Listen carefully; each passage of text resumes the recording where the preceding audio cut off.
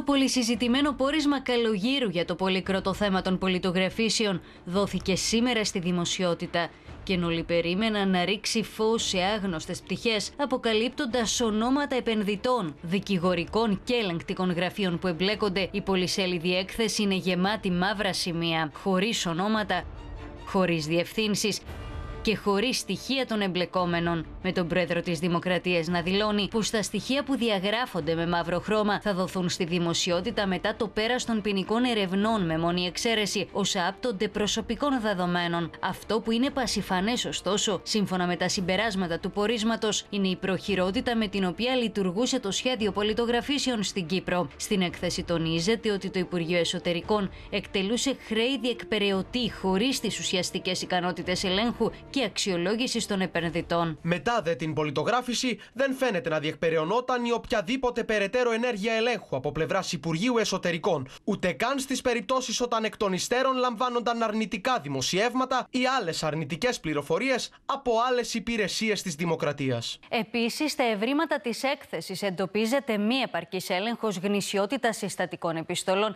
περιπτώσεις με λυπή βιογραφικά ή ψευδή στοιχεία, εν γνώση δικηγορικών γραφείων. Παράλληλα, υπήρχαν περιπτώσεις καταβολής πέραν του 200% της πραγματικής αξίας των επενδύσεων. Για παράδειγμα, για ακίνητο με εκτιμημένη αξία 800.000 στο κτηματολόγιο καταβλήθηκαν 5,5 εκατομμύρια ευρώ.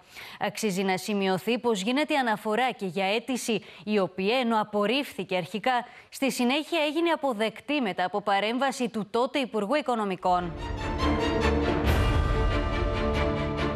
Στο πόρισμα εντοπίζεται σωρία ευρημάτων στα οποία εμπλέκονται δικηγόροι, λογιστές και τράπεζες, τα οποία χρήζουν περαιτέρω διερεύνησης για ενδεχόμενα ποινικά ή διοικητικά δικήματα. Συγκεκριμένα, Δικηγορικός Σύλλογος και ΣΕΛΚ καλούνται να εξετάσουν τέσσερα δικηγορικά γραφεία και τρία ελεγκτικά, τα οποία δεν κατονομάζονται για να διαπιστωθεί εάν άσκησαν σωστά τις διαδικασίες για προσδιορισμό της ταυτότητας των πελατών τους. Παράλληλα, η Κεντρική Τράπεζα θα πρέπει σύμφωνα με το πόρισμα να ελέγξει και πέντε τραπεζικά ιδρύματα για το κατά πόσον άσκησαν σωστές διαδικασίες για εξακρίβωση της προέλευσης κεφαλαίων. Την ίδια ώρα θα πρέπει να σταλούν για ποινική διερεύνηση δύο υποθέσεις, καθώς πιθανόν να προκύπτουν ποινικά δικήματα.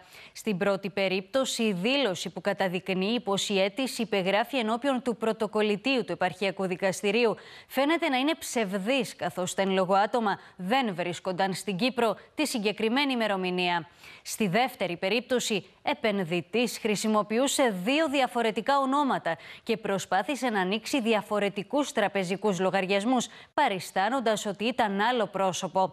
Αναγνωρίστηκε από κάποιους τραπεζικούς υπαλλήλους και κίνησε υποψίες.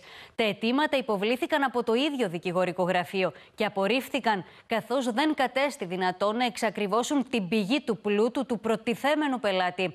Σύμφωνα με το πόρισμα, ενδεχομένως το δικηγορικό γραφείο να ήξερε ότι πρόκειτο για το ίδιο πρόσωπο, το οποίο φαίνεται να προέβαινε σε ψευδείς δηλώσεις. Παράλληλα, δύο υποθέσεις θα πρέπει να διερευνηθούν από την Επιτροπή Κεφαλή Αγοράς, για τις οποίες πιθανόν να προκύπτουν διοικητικά δικήματα και άλλες δύο από τον έφορο φορολογίας για ενδεχόμενα δικήματα φοροδιαφυγής. Καταγράφονται επίσης οι περιπτώσεις 12 ατόμων για τις οποίες θα πρέπει να εξεταστεί το ενδεχόμενο αποστέρησης της υπηκότητας, καθώς τα άτομα καταζητούνται για υποθέσεις κλοπής και απάτης.